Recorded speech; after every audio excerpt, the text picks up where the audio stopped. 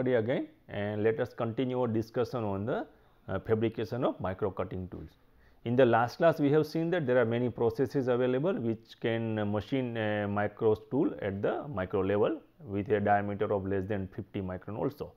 And we have seen that there are grinding process available and after that we have seen the ultrasonic vibration grinding. So, that we can reduce the forces on the cutting tool and we can get the very very fine features on the surface. So, let us continue further in our discussion on fabrication of micro cutting tools. Then there is one process that is called wire electrode discharge grinding process. So, this particular thing is called wire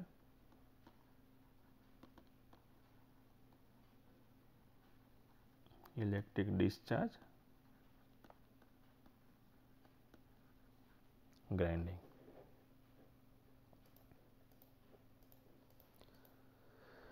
Right. So, you can get the tool diameter less than 100 micron also because now we have seen that electric discharge is a force free and earlier grinding it is actually the mechanical contact. So, even though it is a small contact or whatever the way you are using a fine diamond grit or anything, but still there is a physical contact. So, wherever there is a contact you always get some type of uh, vibration or some type of bending onto the workpiece and that is uh, enough to break the cutting tool. So, this uh, non-conventional processes are called advanced machining processes EDM, electrochemical machining, laser beam machining, electron beam machining.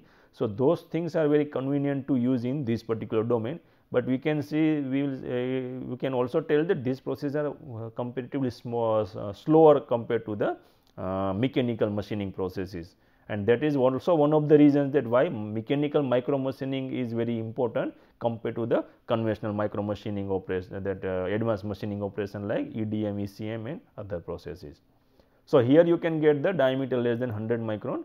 So, what way we can do it that this is the high speed spindle which we can directly use for fabrication of the cutting tool and this is the copper co uh, copper foil because this foil is required to complete the electric discharge circuit chuck is there. So, by chuck you can actually hold the electrode and then you provide the wire guide here. So, instead of a uh, normal cutting tool we are using a wire here and that is the reason we are using it a, we called it as a wire electric discharge grinding and we tell it grinding here because what we are doing that we are actually doing some type of cylindrical grinding type of operation here and you can get the different different type of uh, geometry on the part.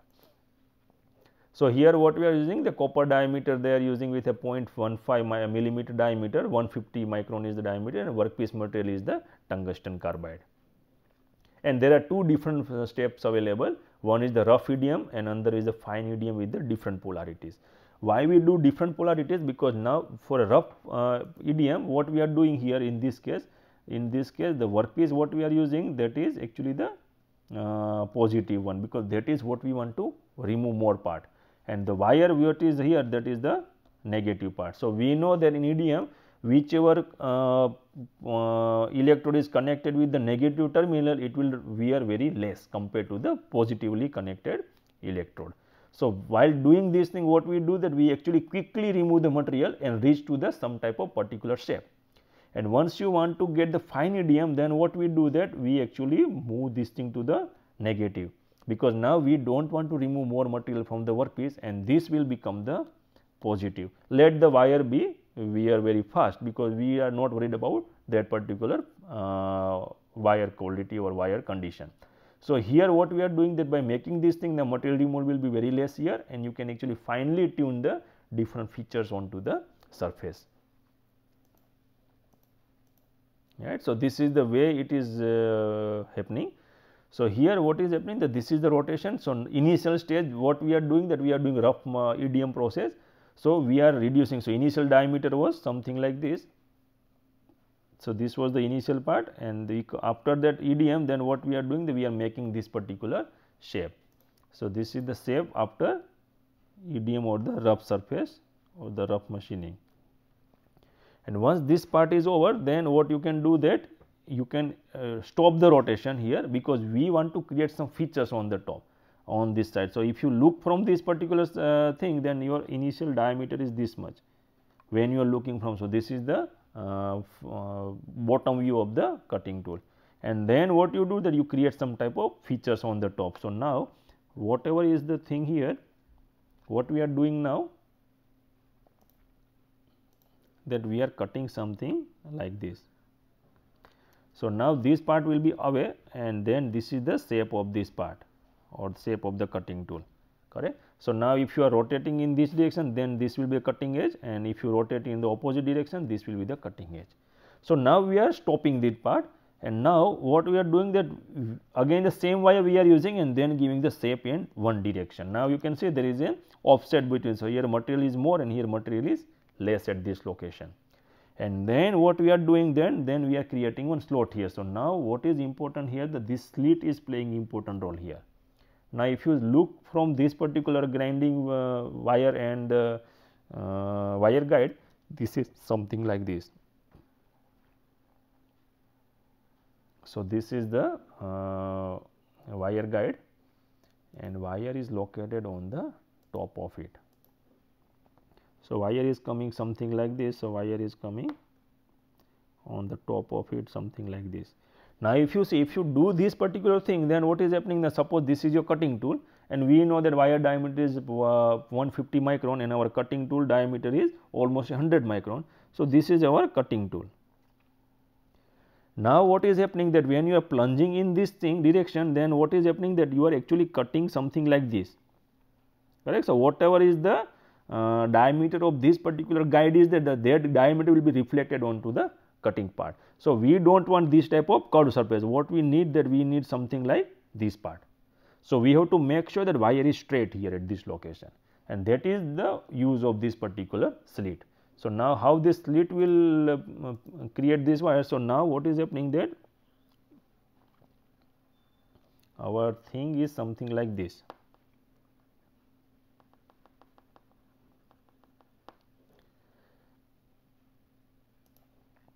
Right. So, this is the slit by which we are making the uh, thing. So, now when your wire is rotating from here at that time it will straightly go from here to here correct.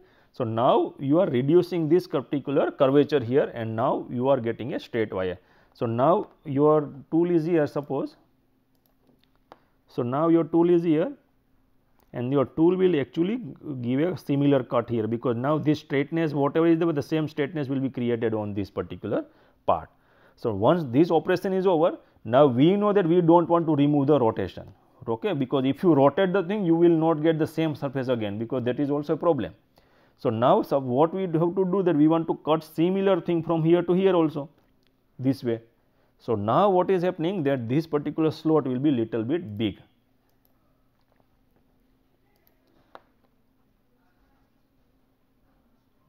right. So, we have to make this particular slot little big.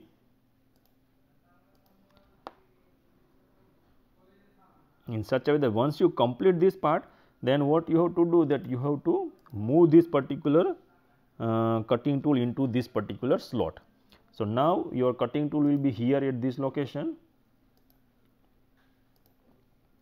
So, your cutting tool is cut down something from here it is cut down and now your shape is something like this and then you move your cutting uh, wire guide in this direction or you are cutting in this direction. So, this other portion which is curvature at this location that will be also cut down. So, finally, what you are getting you are getting something like this surface. And so, this curvature will remain with that is the whatever the diameter is there, but you will get two flat surfaces here at this location and this location these are the two flat surfaces correct and then you remove this thing. So, after doing this thing whatever you move this thing up and then you enter uh, this particular tool into that uh, slit whatever is uh, small slit available here and then do the now wire is located in this direction. So, now it will do removal of this particular portion whatever is available. So, it is cut down from this part. So, by this way what we are doing actually we are actually reducing the error because of the different type of motions because now see that even if it is rotated a 1 degree here then what is going to happen that these two faces will not be parallel. So, you one way you will get something like this another way you will get something like this correct. So, that is the problem if you do not actually provide this type of uh, facility so that you can get the two faces machine without changing the setup of that. So, now advantage that now your whole setup is ready and now you can do the machining operation without any problem. Right. So, this is the tool what we were discussing. So, now you can see that it has a two flat surfaces. So, this is the one flat surface and this is the other flat surface and then it is doing cutting operation, but still you can see this is a uh, negative rake angle and that we have discussed many uh, time that whenever there is a negative rake angle you are end up with the very very high amount of uh, phenomena and this is the diameter and this is the width of that uh, cutting tool. Right. So, this is the features which are created. So, width is the 40 micron is the width and the depth uh, this particular D is the uh, 110 that is the total uh, depth of the cutting tool. And what happened that they did some experiment with a different type of wall thickness. Now, you can see here the, the feature which is created here. So, tool is passing through and this is the wall thickness. So, initial stage your tool is moving from here and then it is passing from here at that time it is maintaining this. So, you can see the wherever wall thickness is more it is mostly straight and it is getting the whatever required dimension. Even the same thing here also. So, this is also acceptable, this is also acceptable. But uh, when it is become more and more thin, what is happening that the material do not have so much of uh, strength in that. So, when you are cutting from here to here one direction and then you are entering here because your material do not have so much of uh, strength then it will bend actually and because of bending you will not get the uh, required features these things. So, by this uh, particular experiment they found that this is the minimum uh, wall thickness which you can grade for a uh, particular application. Why these type of things are important? Because these are very very important in some type of we can say micro heat exchanger. Right. Why it is important? Now, suppose consider that you have a surface here and your uh, some fluid is passing through this part and you want to cool this particular fluid right. So, when it is passing through that and this is the conventional uh, tube kind of thing something like this. But now if you see that if you want to make uh, very very more uh, cooling type of thing then what you can do that you actually create some type of features here onto the wall of the heat exchanger tube.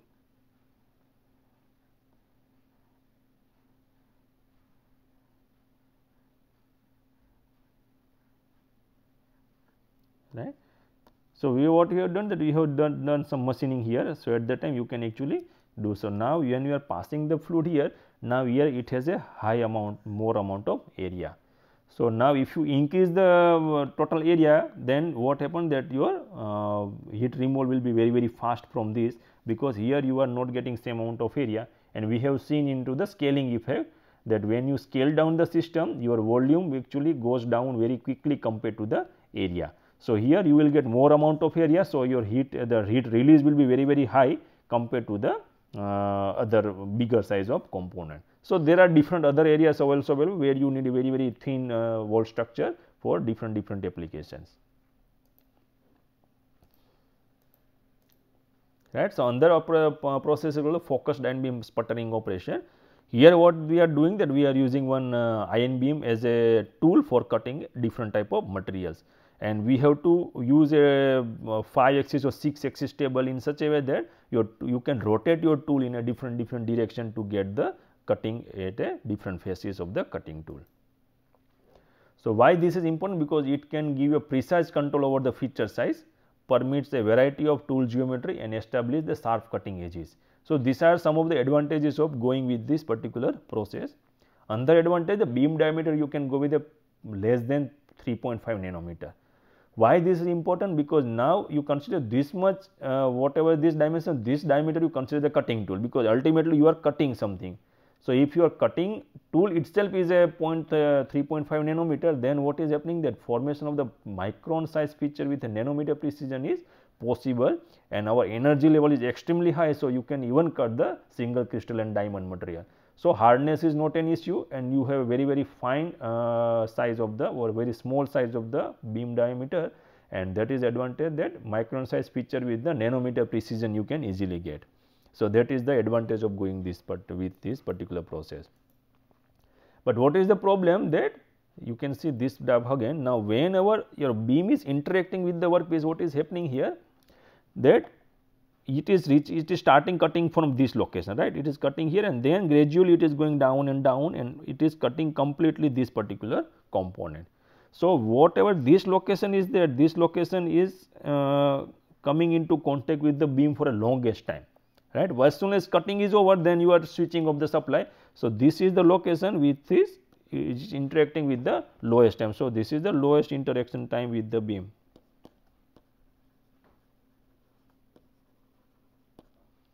Interaction time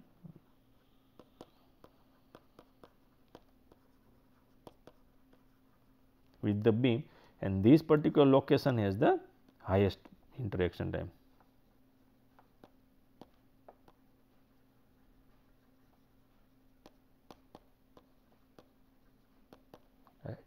So, when it is highest interaction time what is happening that you are getting here at this particular location very very rounded edge. So, now this particular edge is, is rounded edge. So, this is what we are telling. So, this is the diametrically round. So, now if you rotate this location then this will be the rounded edge and once you complete the operation wherever the beam is coming out the this these particular edges will be sharp edges right.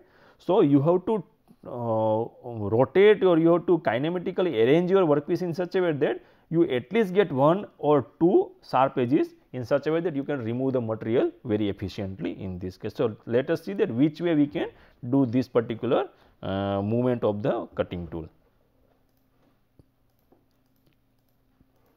right. So, here what is written the, the edge of the facet formed by the ion beam closest to the ion source is rounded mainly due to Gaussian distribution of the beam. So, that is what is happening in the last case and the sharp cutting edge is produced at the far side. So, whatever side which is actually away from the uh, beam and which is coming into contact at the uh, last location or the last time at that time those things are very sharp compared to that part. So, now what we have to do that we want to create a one single point cutting tool by this particular uh, focused ion beam operation.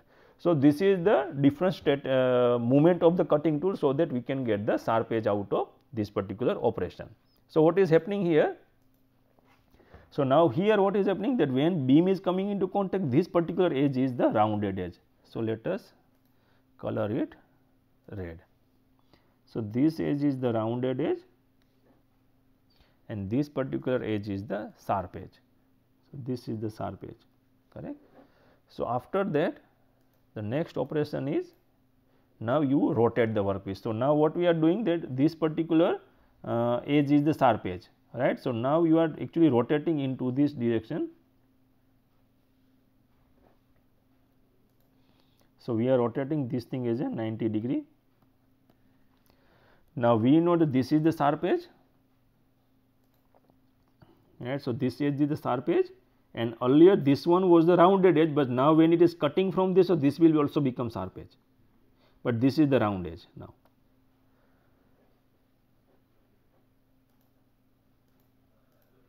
Right. So, after that we again rotate into the uh, 90 degree, then what is happening that now you are getting a sharp edge at this location also. Right. So, we have rotated further in this direction so, now you have sharp edge here, you have sharp edge. So, this whole edge is a sharp edge and this is round edge at this location correct.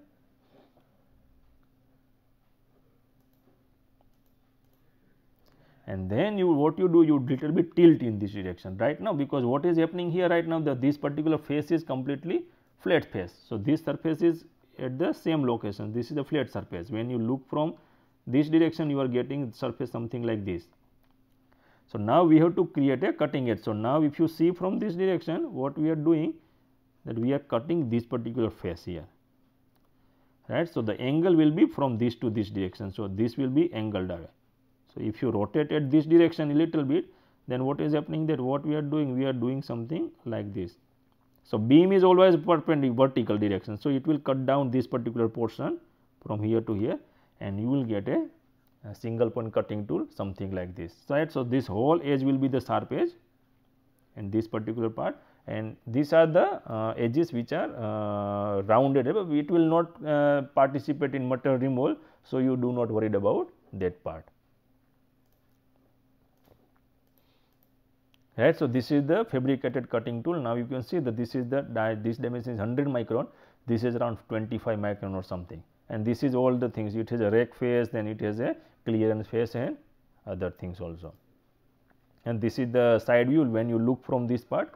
So, this is the uh, clearance face available. So, you do not get any type of uh, contact with the workpiece surface. And these are the clear face this rake face side clearance face this is the clearance face and diameter is uh, the size is around 20 micron. So, now once you get this tool then we have to actually operate this uh, tool for the different operations. So, they did some experiment on the uh, aluminum material and this is what is done here. So, what is thing here that this particular whatever is this uh, uh, width is there width of this then they actually did some type of machining in this direction. So, once machining is done in then after that they did machining in this direction.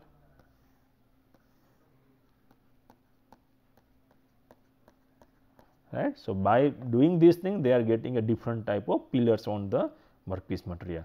So, here objective is that you get some uh, material here then you can use this thing as a for embossing purpose also or you can use as EDM tool for creating some type of uh, uh, multiple holes onto some type of filter application or something. So, there are many applications by, of this particular type of features. And other than that so here the pillar uh, size is the 10 by 10 micron is the depth is or that means height is the 20 micron and the pitch is the distance between these two is the 30 micron. So, mostly it is the, uh, the width of this cutting tool. Other than that uh, they also did some experiment with the thin foil fabrication. So, here they they are not giving the uh, vertical and the uh, horizontal cutting only one direction it is given and then they did measurement on the what is the thin wall uh, things. So, here the thickness of this particular wall is 10 micron, height is 20 micron and this groove width is 30 micron. So, pitch and groove width is mostly depend on the what is the uh, minimum width of the cutting tool which you are using and that we have seen that smaller the size of the cutting tool smaller you can get the width of this particular groove as well as the pitch of this particular uh, features what we are creating. So, this is the way of fabrication of the uh, single point cutting tool. Other than single point cutting tool, they have also fabricated end mill cutter. Right. So, these are the different end mill cutter and we can see that the diameter is 25 micron and we have seen that creating helix angle is sometimes very difficult or even if it is possible your rigidity or the strength of the tool will be sacrificed.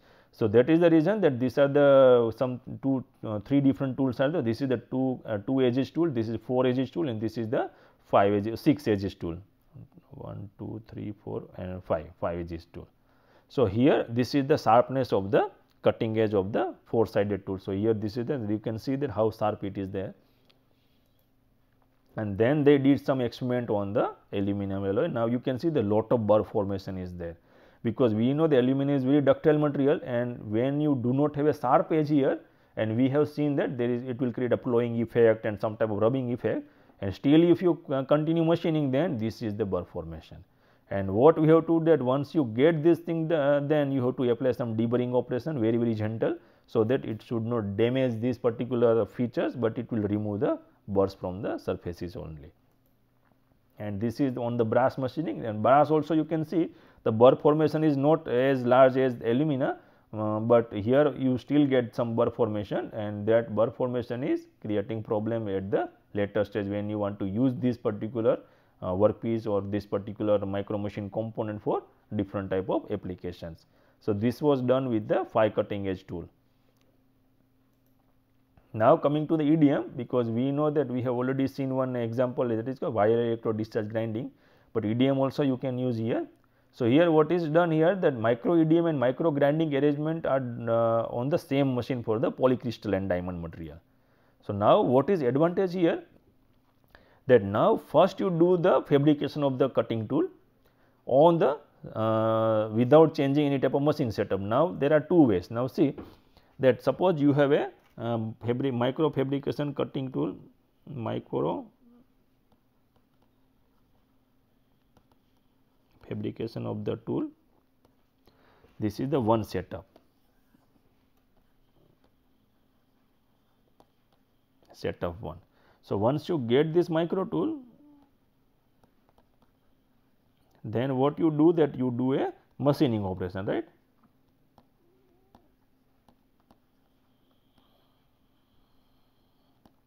So, now this one is the second setup. Now, what is problem with this particular uh, methodology that when you are cutting something here that suppose your diameter you are getting something here and this is your cutting tool this is what you have uh, fabricated out of this particular process and after that you are removing this thing and then you are mounting onto this particular part. So, now when you mount it so you are actually shifting the location from the one machine to the other. So, you are actually relocating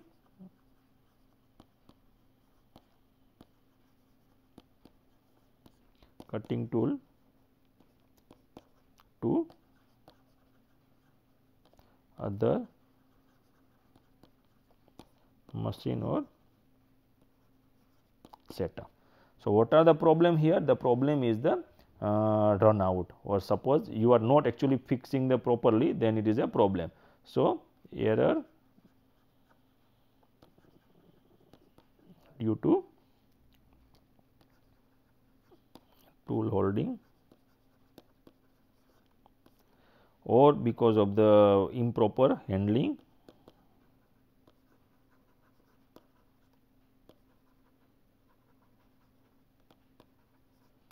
and many more here. So, what is our objective that if you can do something like that you first complete this particular machining operation by EDM and do not change the spindle that you use the same setup and just move your cutting tool to the other setup where you can perform the grinding operation or the machining operation. So, what we are doing that we are not shifting or we are not removing the cutting tool itself. So, whatever is the accuracy or whatever is the geometry you are getting here geometrical accuracy because we know that we have cut all the things by a reference of this particular axis. So, spindle axis and the tool axis are coincide perfectly. Uh, that will not happen it may not happen when you are actually changing the workpiece setup that means you are using second machine and then you are transporting this particular uh, electrode to the or the cutting tool to the other setup. But if you do everything in a single setup that you can actually avoid many different type of tool holding related errors and you can get the run out very very less in this case. So, this is what is the setup available. So, here what things are there this particular table is the EDM part and once you complete that particular the EDM, micro EDM and this uh, particular setup, then what you are doing that you are just shifting the table, right and the still the spindle and everything, everything remains same and this is the machining setup now. So, what we are doing here that without change, so this is called the hybrid machining or something like that. You are fabricating tool on the same spindle and then you are using that particular tool for machining without changing any type of setup, just move the table. So, you have two machine here one is the EDM machine and another is the micro milling or the micro grinding operation. Right. So, these are the different shape of cutting tools. So, this is a circular, this is a triangular, this is a D type and this is the square one. Right. So, by this way you can fabricate different cutting tool and then you do operation here. By that way you can actually save lot of time in the uh, alignment and the uh, correcting the different type of um, uh, or uh, the geometrical error also. So, you do not need to spend lot of time there and you, you are making sure and you also uh, sure that there will not be any type of uh, uh, problem in the eccentricity related thing with the tool holder to the cutting edge diameter. Now, coming to the laser beam. So, laser beam is also used. So, in this particular study they use the infrared yttrium orthovanadate uh, type of laser which has a wavelength of 1.06 per micron and this is the way they have done. So, it is a single crystalline diamond they have used. So, in this cutting diamond by the laser beam. So, this is done there and then what they are doing they are bonding with the uh, under material. So, this way if they are actually making sure that the cost can be reduced further because ultimately this particular uh, top portion is only coming into contact with the workpiece. So, by bonding thing they are actually spending less time less uh, money into the fabrication of this part once the bonding is over then they use the laser beam and then they navigate the laser beam at a different different location and then they get the different type of features onto the top face of the cutting tool. So, these are the two different type of tools they are making. So, this is something like the end mill cutter or something like a face mill cutter kind of thing. So, these are the cutting edges here at this location, this location and there something like that and this is for creating some type of cavities here. So, their specific application was the fabrication of some type of uh, concave cavities. So, now the edges are something all these edges are there. So, when they plunge it inside completely then what it will do that it will remove the material from the sides completely, but still it will uh, at the center portion you will get a different features here because we know that when we rotate this thing at that time you will get the theoretically 0 velocity at the center because r is 0 at that location and maximum at the outer periphery, but still they got some results here. And this is what is happening with the uh, cutting edge. Now, you can see that this particular uh, this figure is belongs to the this first diagram that the tool with the sharp edges and this is the rounded edges with the 0.2 uh, 0.5 micron radius. So, what is happening that this is the initial. So, how this tool wear is progresses with respect to the uh, diameter of this part that is what it is showing.